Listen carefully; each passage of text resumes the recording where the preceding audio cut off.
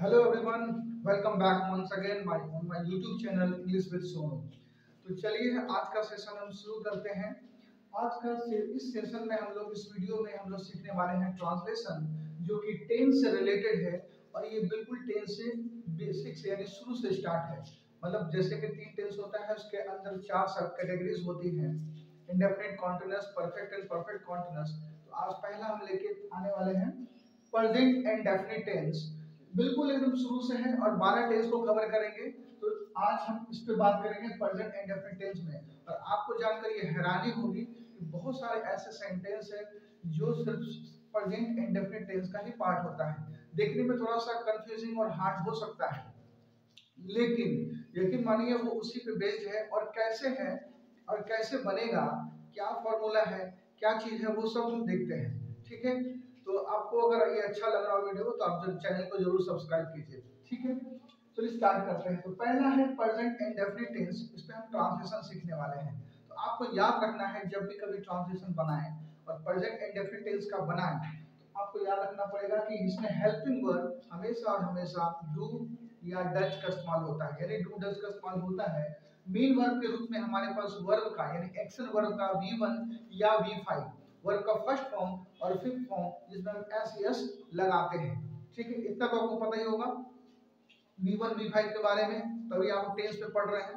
ठीक उसके बाद है हमारा कि इसको पहचानेंगे कैसे? यानी प्रेजेंट इंडेफिनिट का पहचान क्या है? ये जो पहचान है, इस बोर्ड पे लिखा हुआ या जो मैं इस वीडियो में बताने जा रहा हूँ, वो आपका इंग्लिश मीडियम और हिंदी मीडियम दोनों के लिए है। जो जिसको हिंदी मीडियम से समझना इंग्लिश मीडियम से जो जैसे भी समझे वो ज़्यादा, वो आपके लिए बेनिफिट होगा। जैसे भी समझ में आता है, आपको समझना है। ठीक है, दोनों से समझना है तो दोनों से समझिए। ठीक है? और एक चीज़ और कि ज़्यादातर कोशिश करें कि इंग्लिश मीडियम के हिसाब से समझें तो ज़्यादा बेटर है। ठीक है? बाकी आपके ऊपर। जैसे यहाँ पे लिखा हुआ पहचान, यहाँ पे लिखा है कि आइडेंटिफिकेशन या सिचुएशन यानी प्रेजेंट एंड टेंस में हम कैसे समझेंगे कि प्रेजेंट एंड टेंस में ही लिखना है? प्रेजेंट एंड टेंस में ही हमको बोलना है, अंग्रेज़ी में बोलना है। अब जब आप इंग्लिश बोलते हैं तो आपको कैसे मालूम चलता है कि आपको इसी टेंस का इस्तेमाल करना है? यही लिखा हुआ ठीक है स्टार्ट करते हैं तो ये इंग्लिश मीडियम क्या कहता है? जब सब्जेक्ट किसी काम को करता हो, जब सब्जेक्ट किसी काम को करता हो, तब करता हो। या तो वो डेली बेसिस पे करता हो, एक तो ये। वीकली करता हो मंथली करता हो ईयरली करता हो हर एक पाँच मिनट में करता हो, हर एक एक मिनट में करता हो, हर एक छह महीने में करता हो। जब भी करता हो वो चीज़, उसको करने का उसको आदत है। ठीक है, उसका रूटीन है हैबिट है। वो अगर करता है तो हमारा प्रेजेंट इंडेफिनिट टेंस में बोला जाएगा या लिखा जाएगा। सिंपल यानी ये रूटीन या हैबिट को ही बताता है। जैसे कि मैं पढ़ाता हूँ तो मेरा ये रूटीन है, या तो मेरा ये हैबिट हो सकता है। वो डेली सुबह छह बजे टहलने जाता है तो उसका रूटीन है या हैबिट हो सकता है। उसके पापा ऑफ़िस जाते हैं रूटीन हैबिट है वो मोमोज नहीं खाता है। तो उसके उसका वो हैबिट वो नहीं खाता है। ठीक है? अगर बोले कि आ, वो खाना बनाते हैं तो उसका रूटीन और हैबिट हो सकता है। तो डेली का भी हो सकता है वीकली हो सकता है मंथली हो सकता है। ये होता है इसमें पॉजिटिव नेगेटिव इंट्रोगेटिव सब हो सकता है। नहीं जस्ट एक नेगेटिव वर्ड है। ठीक है? बस। और यही इसको समझना है। बोले सर वो डेली पढ़ने नहीं जाता है। तो सर पढ़ने जाता नहीं है तो आदत कैसे हो गया? वो तो जाता ही नहीं है। नेगेटिव जस्ट एक आपको क्या करना है, वो नेगेटिव वर्ड है, उसको अवॉइड करना है, लेकिन वो इस प्रोसेस को ही बोलते हैं प्रेजेंट इंडेफिनिट ठीक है? हिंदी मीडियम क्या कहता है? जैसे जानते हो ना, थोड़ा बहुत मेन वर्ड के साथ ता है, ती है, ते है लगा रहता है। ठीक है, जहाँ है, क्या लगा रहे हैं? ता है, ती है, ते लगा रहे हैं। लेकिन किसके साथ? मेन वर्ब के साथ। ये मेन वर्ब क्या है? जो एक्शन जो काम को बताए उसमें। जैसे एग्जांपल है कि मैं जाता हूँ। तो जाना काम है, उसमें ता है ती लगा जाने ठीक है? मैं आपको मैं आपको सिखाता हूँ, मैं आपको अंग्रेज़ी सिखाता हूँ। तो ता है ती किसमें लगा? सिखाने में ना, सिखाना एक वर्ब है, एक्शन है क्रिया है तो वो हमारा प्रेजेंट इंडेफिनिट से क्लियर है। लेकिन कुछ वर्ड से आपको कंफ्यूज कर सकते हैं। जैसे बोले कि मुझे पता है तो उसमें भी तो ता है है किसमें लगा? पता होने में, यानी पता, यानी जानना, यानी नो तो वहाँ पे ठीक है वो प्रेजेंट इंडेफिनिट अब जैसे है, बोले कि मुझे मालूम है अगर मैं ये कहता हूँ, मुझे मालूम है, जैसे मुझे पता है आई नो मुझे मालूम है आई नो अब यहाँ मुझे मालूम है, ताहती है किधर है? ताहती है नहीं है। फिर भी वो आई नो यानी प्रेजेंट इंडेफिनिट टेंस में ही बना, है ना? बना के नहीं बना, ये इसी में ही बना। तो ये ज़्यादातर काम नहीं करता है, इस हिसाब से। कुछ कंफ्यूजिंग सेंटेंस होता है जो आपको ताहे पियन हर एक ताहे पियन लगा हुआ, आपका प्रेजेंट इंडेफिनिट टेंस नहीं होगा। ठीक है, या तो बिना ताहे पिए वाला भी प्रेजेंट इंडेफिनिट होगा। क्लियर है ना? एग्जांपल तौर पर समझ रहे हैं। यही है सिचुएशन अदरवाइज़ आप जैसे भी समझें और practice makes a man perfect आपको पता है। आप प्रैक्टिस करते रहिए ट्रांसलेशन बनाते रहिए प्रैक्टिस करते रहिए नया नया सेंटेंस नया नया वर्ड जुड़ता रहेगा। प्रैक्टिस से सब आ जाता है, कुछ भी कंफ्यूजिंग नहीं है, बड़ा आसान है। चलिए स्टार्ट करते हैं। स्ट्रक्चर पहले देख लेते हैं। अफर्मेटिव कहें या पॉजिटिव कहें? ग्रामर के भाषा में अफर्मेटिव कहते हैं। हम कॉलिकल भाषा में उसको पॉजिटिव कहते हैं। सब्जेक्ट लिखते हैं और उसके बाद हम V1 या V5 का इस्तेमाल करते हैं। वर्ब का फ़र्स्ट फॉर्म या या हमको फिफ्थ फॉर्म यानी एस एस का इस्तेमाल करते हैं। फिर ऑब्जेक्टिव पार्ट लिखते हैं। ठीक। नेगेटिव में सब्जेक्ट उठाते हैं। डू या डच किसी एक का इस्तेमाल करेंगे। नॉट वी1 या ऑब्जेक्ट याद रखें, जब भी डू या डच होगा, जो भी वर्ब होता है, चाहे वो हेल्पिंग वर्ब हो, चाहे मीन वर्ब हो, जैसे आप देखें तो अगर हम यहाँ पे बात करते हैं जैसे ये क्या है? ये वर्ब है। डू डच क्या है? ये वर्ब है। डू डच क्या ये वर्ब है। है हेल्पिंग वर्ब वी हमेशा कंसीडर होता है। वी हमेशा कंसीडर होता है मेन वर्ब के रूप में, जहाँ पे वी लेके आता है। शॉर्ट फॉर्म यानी verb v1 v2 v3 v4 v5 ऐसा करके वो एक्शन वर्ब है। ठीक है? तो वो तो मेन वर्ब है। जहाँ पे डू डज इज़ ए मार shall will can do nothing वो हमेशा हेल्पिंग वर्ब हो जाता है। क्लियर है? तो जो भी वर्ब हो हेल्पिंग हो या मेन वर्ब इस वीडियो को ध्यान से सुनिए। वीडियो स्किप मत कीजिए चैनल को सब्सक्राइब ज़रूर कीजिए कॉपी पेन लेके बैठिए। तो जो भी वर्ब हो, यानी हेल्पिंग वर्ब हो मेन वर्ब हो और हमेशा हमेशा सब्जेक्ट के अकॉर्डिंग ही चलेगा। यानी सब्जेक्ट को ये पावर है कि ये कह सकता नहीं, मेरे पास ये वर्ब चाहिए, वो नहीं चाहिए। वो मेरे से सूट नहीं करेगा। वर्ब नहीं कह सकता है कि, नहीं, तुम आ जाओ आ जाओ मेरे साथ यू आ जाओ, वो तो ही नहीं आएगा। ऐसा नहीं कर सकता। क्लियर है? यही है इसके अंदर कहानी, इसके अंदर ट्विस्ट ऐसा क्यों होता है? तो सब्जेक्ट को पावर है। तभी तो हम लोग कभी सब्जेक्ट वर्ड एग्रीमेंट पढ़ते हैं, यानी सिंटेक्स सब्जेक्ट वर्ड कंपाउंड जो भी वर्ड बोलते हैं उसको, वो पढ़ते हैं। ठीक है? तो ये हमारा स्ट्रक्चर है। इसी स्ट्रक्चर पे अब तीसरा है इंटरोगेटिव या इंटरोगेटिव नेगेटिव या नेगेटिव इंटरोगेटिव जो भी बोले डब्ल्यू एच वर्ड इसका मतलब हुआ ये ब्रैकेट में है। इसका मतलब हुआ कि हो भी सकता है, नहीं भी हो सकता है। यानी सवाल उससे क्रिएट हो भी सकता, नहीं हो सकता। सवाल तो होगा, लेकिन वो वर्ड लगेगा कि नहीं लगेगा? वो किसके लिए आएगा, वो भी बताऊँगा। डू डच उसके ऊपर चल गया फॉर्मूला है सब्जेक्ट है. उसके बाद नॉट का रिक्वायरमेंट होगा. एक नहीं का सेंस होगा तो लिखेंगे तो नहीं लिखेंगे उसके बाद वर्ब का हमेशा फ़र्स्ट फॉर्म वर्ब है. यहाँ पे तो v1 v5 का दिया है ना. लेकिन नेगेटिव इंटरोगेटिव में हमारा v5 हट जाता है. सिर्फ़ v1 ही हो जाता है. सब्जेक्ट कोई भी नहीं. क्लियर है? इसी कॉन्सेप्ट पे हम लोग काम करें याद रखना है. स्ट्रक्चर को नहीं छेड़ना है. फॉर्मूला नहीं छेड़ना बहुत लोग बड़ा सेंटेंस देख के उसको छेड़ देते हैं या तो कुछ अपने मन से लिखते हैं, यार फॉर्मूला देख के नहीं बनाते आपको कुछ नहीं करना है। हमेशा हमेशा बनाइए। आप फॉर्मूला देख के ही बनाए स्ट्रक्चर देख के ही बनाए। कोई कंफ्यूजन नहीं होगा। हाँ सब्जेक्ट और वर्ब के बाद अगर ऑब्जेक्टिव पार्ट में कहीं गलती होता है तो वो गलती ठीक है, वो आपको उतना कंसिडर कर सकते हैं। ओके ओके ठीक है। लेकिन सब्जेक्ट के साथ वर्ब का कॉम्बिनेशन आपको गड़बड़ है। मतलब आपका ट्रांसलेशन नहीं है। यानी आपका आपको राइटिंग और स्पीकिंग में प्रॉब्लम हो सकता है। ऑब्जेक्टिव पार्ट बड़ा हो सकता है। तो उसमें थोड़ा बहुत कन्फ्यूज़न है, वो चलेगा। लेकिन चलिए देखते हैं। स्टार्ट करते हैं। तो बता बता देना होगा कि डज और वी फाइव का इस्तेमाल कहाँ करते हैं। दोनों वर्ग है, एक हेल्पिंग वर्ग मेन वर्ग है ठीक है। दोनों सिंगुलर वर्ग माना जाता है। जब सिंगुलर वर्ग माना जाता है तो ये ऑब्वियस सी बात है कि सिंगुलर सब्जेक्ट के साथ ही लगेगा। एज सिंपल एज दैट जैसे कि ही सी एक और एनी सिंगल नेम कोई भी एक नाम हो। सिंगुलर प्लूरल तो पता ही होगा, उसके साथ यूज़ होता है। ये याद कर लेना। और with third person singular number ये पी ऐसा मतलब पर्सन सिंगुलर नंबर सब्जेक्ट के साथ लगेगा ये डज और वी फाइव का use third person singular number subject के साथ लगने वाला है। डू या वी फाइव का यूज़ कहाँ करते हैं? यू के साथ आई के साथ वी दे और क्या, किसके साथ? विद किसके साथ? थर्ड पर्सन प्लूरल नंबर ये जो पी पी एन है third person plural number subject के साथ। ठीक है? एक एक चीज़ देखिए वीडियो को समझ के। ऐसा नहीं होगा। आपको कमांड करना है तो मेहनत और वीडियो पूरा देखना होगा।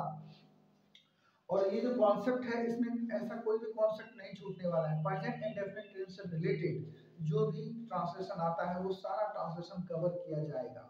ठीक है? कोई कंफ्यूजन नहीं। एडवांस बेसिक वाला सेंटेंस हो एडवांस सेंटेंस हो, सब होगा। सारा कंफ्यूजन इस वीडियो में, हमारे चैनल पे आपको मिल जाएगा।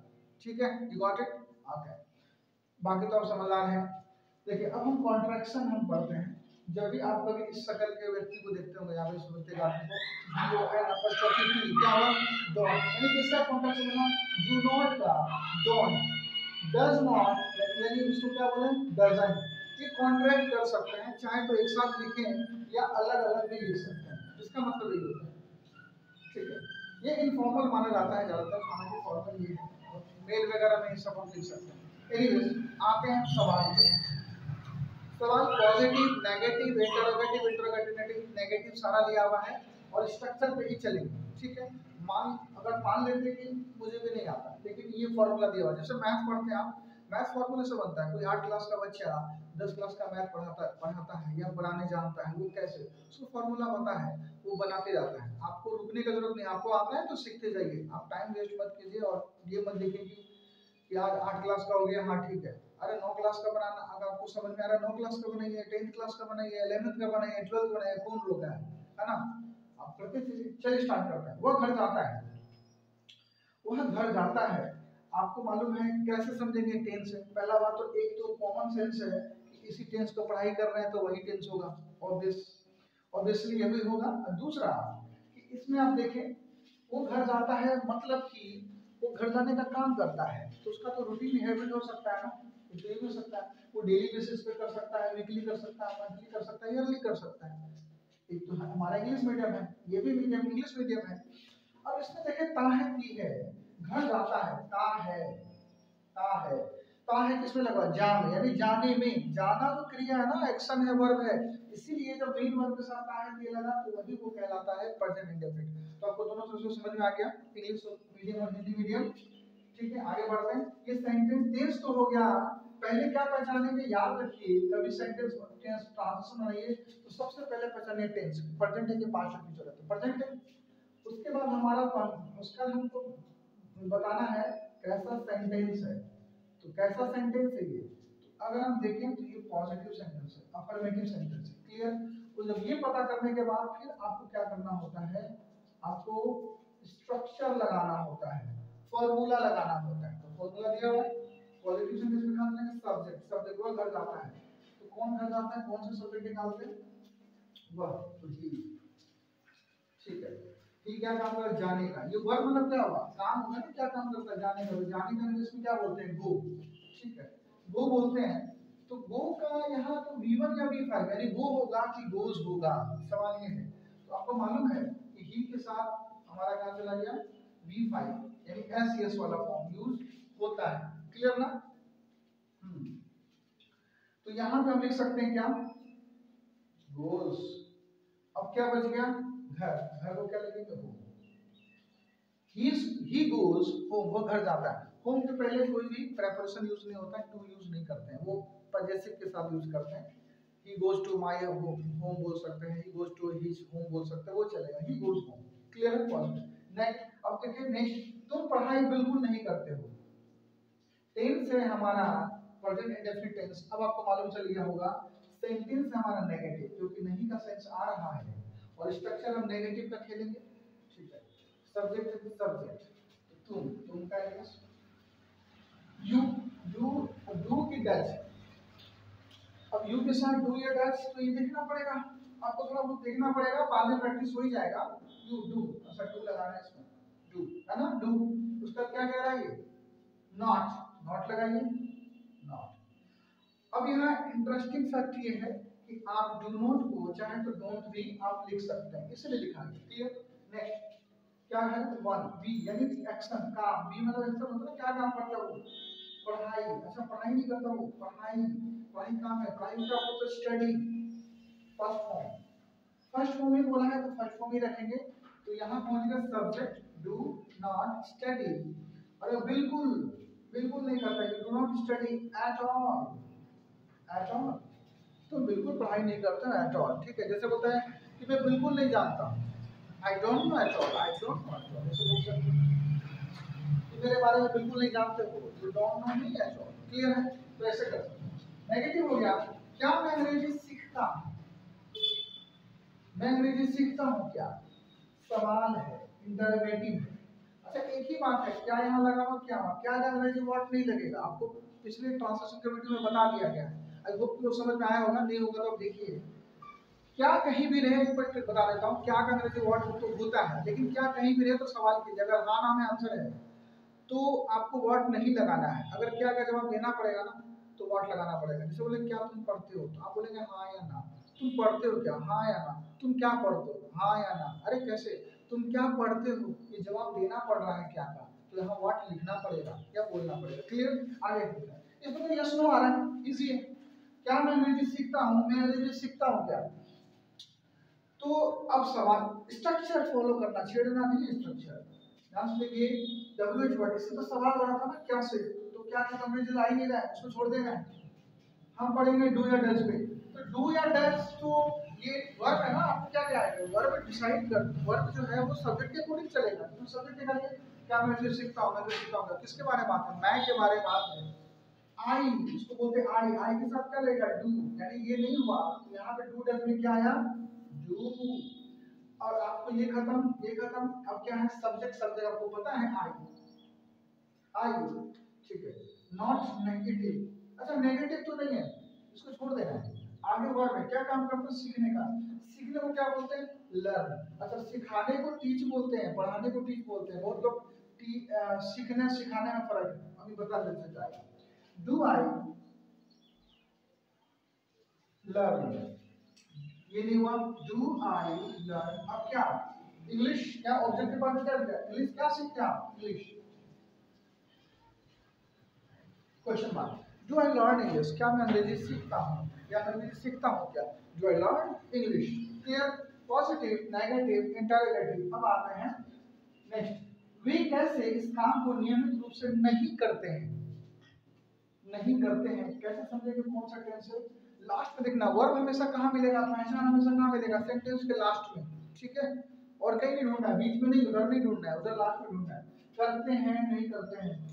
है, लगा हुआ किए। करने में लगा हुआ है ना, कोई चीज़ करने में? तो ताहे किए तो वर्ब हो गया। यानी हमारा वो प्रेजेंट इंडेफिनिट टेंस का पार्ट है। ठीक तो ये हमारा नेगेटिव सेंटेंस हुआ। ठीक है, इसी फॉर्मूला को लेके आगे है। इतना बड़ा सेंटेंस है घबराना नहीं है पहले देखना है, पहले वर्ड यानी इससे जिससे सवाल क्रिएट हो। आपको बता दिया है डब्ल्यू एच बोलते कैसे हैं, क्यों यानी क्वेश्चन वर्ड में बोल सकते हैं उसको। लेकिन नियमित रूप से नहीं करते हैं। आप कैसे से समझ रहे हैं तो कैसे कर रहे? हाउ ठीक है आई होप कि ये समझ में आ रहा होगा। हाउ हाउ के बाद डू या डज ये तो वर्ब है डिसाइड करेगा सब्जेक्ट वे ये तो दे। दे ना तो दे में क्यों समझ आएगा दे दे। हाउ डू उसके बाद क्या? फिर फॉर्मूले पे हाउ डू सब्जेक्ट क्या डी हमको पहले से मालूम है। डी उसके बाद है नेगेटिव है क्या? नो यूज़ नहीं करते। हाँ नहीं है ना? तो नॉट ठीक है फॉर्मूले पे चाह रहे हैं लोग। हाउ डू दे नॉट और क्या डी मतलब काम क्या करते हैं आप? नहीं करते। हैं हाउ डू दे नॉट इस काम को नहीं करते। हैं करना ही काम है। तो करने को डू बोलते हैं उसी का फ़र्स्ट फॉर्म डू ही रहेगा। चेंज नहीं होगा। How do they not do अब क्या रह गया? ये तो हो गया ना। क्या नहीं करते? हैं इस काम को नियमित रूप से do this work work do this work objective part work क्या नियमित रूप से यानी regularly regularly how do they not do this work regularly clear है? दिख रहा होगा आपको I hope how do they not do this work regularly clear ना? तो पॉजिटिव नेगेटिव इंटरनेगेटिव और इंटरनेगेटिव नेगेटिव डन नेक्स्ट अब लिखा हुआ इसी में दो वर्ब का भी सेंटेंस आता है। प्रेजेंट इंडेफिनिट टेंस ही है। दो वर्ब वाला है। इसमें कुछ नहीं करना है, जब भी दो वर्ब दिखे तो उसमें बीच में टू लगा देना। दो वर्ब के बीच में टू लगा देना। आसान सा कॉन्सेप्ट है फॉर्मूला वही रहेगा ऑलमोस्ट अब हम आते हैं, वो पढ़ना चाहता है। तो ध्यान से देखिए, ता है, ती है, लगा हुआ है। किसमें? चाहने में ना। तो चाहना उसमें ता है ती लगा उस, वो वो एक तो हमारा पढ़ने के डेफिनेशन को दिखा है वो बताया और जो पढ़ना चाहता है यानी वो उसका रूटीन हैबिट के बारे में बात कर रहा है इंग्लिश मीडियम हिंदी मीडियम जो भी समझता है कि चाहने के साथ। अगर आप देखें तो दो काम है। एक तो पढ़ना एक तो चाहना। दो है एक्शन इसके अंदर यहाँ पे। पढ़ना और चाहना ठीक है? तो पढ़ना चाहना दो एक्शन है। इसका मतलब क्या होगा अब आपको थोड़ा सा ये प्रॉब्लम हो सकता है कौन सा वर्क हम पहले लिखे? पढ़ने के लिए चाहने का तो उसका ट्रिक आपको बताया जाता है। बड़ा अच्छा सा ट्रिक है, मेरे इस वीडियो पे मिलेगा। तो आप किसका वर्क पहले उठाएँ? पढ़ने को चाहने को? तो देखिए दो ट्रिक बताते हैं। पहला चीज़ इसलिए क्या कहा गया कि मीन वर्ग के साथ ताहे तीहे लगा है तो ताहे तीहे लगा किसके साथ है? क्या पढ़ने में कि चाहने में? लगा हुआ है चाहने में। ताहे तीहे इसमें लगा हुआ ना तो चाहना इसको हम पहले उठाते एक तो रीजन ये दूसरा, अगर वो चाहेगा तभी तो पढ़ेगा। तो पहला चाहेगा ना तो पहला एक्शन चाहने का होगा, तभी वो करेगा। तो दो रीजन हो गया। तो ये दोनों ट्रिक आप समझ में आ गया। मज़ेदार है। पॉजिटिव सेंटेंस यानी अफर्मेटिव सेंटेंस है, उसी को फॉलो करेंगे सब्जेक्ट वाले में ही वो पढ़ना चाहता है। ठीक है ही ही क्या काम करा? पढ़ना चाहता है। तो अभी क्या बता किस वर्ग को पहले लिखेंगे ये वाला। चाहना, चाहने को क्या बोलते हैं? वांट लेकिन वांट तो v1 हुआ तो v1 या v5 third person singular number है। एंड यस लगाना है। तो ही वांट्स ही वांट्स दूसरा वर्ग, ये दो वर्ग है, दो वर्ग के बीच में टू लगाते हैं। टू अब क्या करते हैं? अब टू के बाद जब भी कोई दूसरा वर्ग लिखना है टू के बाद हमेशा वर्ग का फ़र्स्ट फॉर्म ही आता है। चाहे वो? Third person singular number subject ही क्यों ना हो? तो we wants to study he wants to study यहाँ भी वही रहेगा। ठीक है? दो वर्ग है देखो वांट और स्टडी दोनों वर्ग के दोनों वर्ग में टू लगा। और टू के बाद हमेशा वर्ग का फ़र्स्ट फॉर्म ये आपको हमेशा याद रखना। ये किसी भी टेंस में काम आएगा। ज़रूरी नहीं प्रेजेंट इंडेफिनिट टेंस में कॉन्टिन्यूअस में हो सकता है। प्रेजेंट परफेक्ट टेंस में हो सकता है। क्लियर है? हाँ ये आपको पता लगेगा। तो तुम उसे क्यों सिखाना नहीं चाहते हो? इंटरोगेटिव नेगेटिव सेंटेंस यानी इसी का पार्ट है। इसके साथ अब खेलते हैं। ये डब्ल्यू एच वर्ड क्यों क्यों का नेगेटिव वाई अब तो इतना समझ में आ गया आपको वाई बना वाई के बाद डू या डच तो ये तो वर्ब डिसाइड क्यों करता है? सब्जेक्ट एग्जैक्टली आपको याद आ गया? याद आ गया ना? तो सब्जेक्ट क्या है? तुम। तुम तो यू होता है यू में डू लगता है। तो इसलिए हम डू लिखेंगे। तो वाई डू उसका हमको पता है सब्जेक्ट सब्जेक्ट तुम तो तुम का you why do you clear why do you अब नेगेटिव में हम है। Not why do you not अब क्या है? क्या काम है? सिखाना। देखिए लर्न मतलब सीखना। लर्न मतलब सीखना। यानी सब्जेक्ट खुद ही सीखे तो वो लर्न है। अगर वो किसी को सिखाए तो टीच है या पढ़ाए तो टीच है। क्लियर है? ये चीज़ याद रखना है। तो या सिखाना teach why do not teach अब क्या करना है इसको? प्रोजेक्ट में। किसे भी सिखाना चाहते हैं। व्हाई डू नॉट टीच उसे। हिम लड़का है तो हिम लड़की है तो हर ये क्लियर नहीं हो रहा लड़का है कि लड़की। तो आप कोई भी बना सकते हैं हिम हर से दोनों से बना सकते हैं। क्लियर है? कटेगा नहीं मार्क्स अगर आप ट्रांसलेशन इस तरह से बनाते हैं तुम उसे क्यों सिखाना नहीं चाहते हो व्हाई डू नॉट सॉरी हाँ दो बार बोला है, ये गड़बड़ हो गया। तो तुम उसे सिखाना क्यों नहीं चाहते हो? तो व्हाई डू नॉट अच्छा यहाँ पे होगा वर्ब वर्ब में आप चेक कर रहे हैं कि सिखाना और चाहना, दो वर्ब में सीख रहे हैं। तो कौन सा कौन सा दो वर्ब है ना कौन सा वर्ब को पहले उठाना, जब दो वर्ब मिले तो यहाँ एक ही लिखा हुआ है तो कौन सा वर्ब लिखेंगे? जैसा इसमें है ना तो चाहने तो चाहेगा तभी तो सीखेगा। या ताहे भी इसमें लगा हुआ है तो ताहे भी वही तो उठाएँगे पहले ना, उसके बाद दूसरा तो चाहने तो वांट तो वी वन नहीं लिखेंगे। Why do not want want दूसरा वर्ब लिखने के लिए बीच में टू लगाना है। टू क्या तो वर्ब का फ़र्स्ट फॉर्म ही लगता है। तो सिखाने को टीच और किसको? उसे।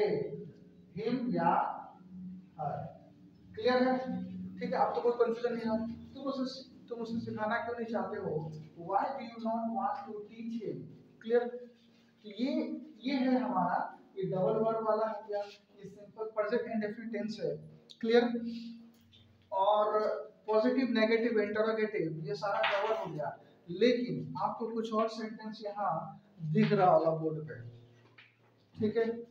जैसे कि सम कंफ्यूजिंग सेंटेंसेस जैसे लिखा हुआ है, राहुल पढ़ता रहता है, राहुल पढ़ता ही रहता है, राहुल पढ़ा करता है, राहुल पढ़ता ही तो है, राहुल पढ़ना शुरू कर देता है, या राहुल पढ़ाई करने लगता है एक ही बात है अलग अलग कंफ्यूज करने के लिए नहीं नहीं लिखा हुआ है, एक ही सेंस एक ही लेके आ रहा है, राहुल पढ़ना शुरू कर देता है या राहुल पढ़ने लगता है, एक ही बात है, राहुल पढ़ना जानता है या राहुल को पढ़ने आता है, एक ही बात है। ये छह टाइप का सेंटेंस है और इसको रहा कंफ्यूजन ये क्या बवाल है? ये क्या बवंडर हो गया? मतलब कि ये तो ठीक चल रहा था, यहाँ भी ठीक है, समझ गए। अब इसको कैसे करें? ये बिल्कुल ही आसान है, ये आपको बताया जाएगा नेक्स्ट वीडियो में। है ये, और आपको ये, अब आपको अगर कमेंट कर सकते हैं तो कमेंट कीजिए कि किस टेंस का सवाल है। ठीक है, और कैसे बन सकता है, क्या स्ट्रक्चर हो सकता है, और कुछ नॉलेज है। और और बड़ा ये जानकर आना नहीं होगा ये सब एक ही टेंस का सवाल है है ना? लेकिन स्ट्रक्चर में थोड़ा सा प्रॉब्लम हो सकता है फॉर्मूले में उस, उसमें आपको प्रॉब्लम नहीं मतलब कि उसका स्ट्रक्चर अलग होता है। क्लियर है? तो इसको समझने के लिए नेक्स्ट वीडियो का वेट कीजिए। आई होप कि जल्दी मिलेंगे नेक्स्ट वीडियो पे और ये इसी में खत्म करेंगे। प्रेजेंट इंडेफिनिट टेंस को कवर कर कर पाएँगे। ये पार्ट वन है पार्ट टू में प्रेजेंट इंडेफिनिट टेंस खत्म होने वाला है और सारा कंफ्यूजन खत्म हो जाएगा एक साथ। अब ऐसा वीडियो आपको नहीं मिलेगा किसी यूट्यूब चैनल पे होता क्या है? वो अलग अलग करके बताते हैं, फिर वो अलग से एक्स्ट्रा एडवांस बताने लगते हैं। कि एक ही में करके खत्म हो जा रहा पार्ट वाइज तो प्रेजेंट इंडेफिनिट का कोई भी टेंस अगर पहचानना हो तो इसी टाइप का हो सकता है। क्लियर है? आपको वीडियो अच्छा लगा हो तो लाइक कीजिए शेयर कीजिए सब्सक्राइब ज़रूर कीजिए और इसका स्क्रीनशॉट आप ले लीजिए। एक चीज़ और भूल, भूला, यहाँ पे नहीं लिखा हुआ है। एक चीज़ आपको बता दूँ वर्बली बताना पड़ेगा कि डू या डैच का इस्तेमाल जो होता है, हमेशा हमेशा ज़्यादातर केस में 99.99 परसेंट नेगेटिव इंटरोगेटिव सेंटेंस में ही होता है। डू हो डच हो नेगेटिव या इंटरोगेटिव सेंटेंस में ही होता है। पॉजिटिव में हम नहीं करते। पॉइंट वन परसेंट चांसेस होता है कर सकते हैं। जैसे बोलेंगे वह करता है तो ही डज बोल सकते पॉजिटिव डज लग गया लेकिन 99.99 परसेंट चांसेस क्या रहता है? नेगेटिव इंटरोगेटिव में ही इस्तेमाल होता है। क्लियर है? चलिए इसका स्क्रीनशॉट ले लीजिए। तो मिलते हैं नेक्स्ट वीडियो में।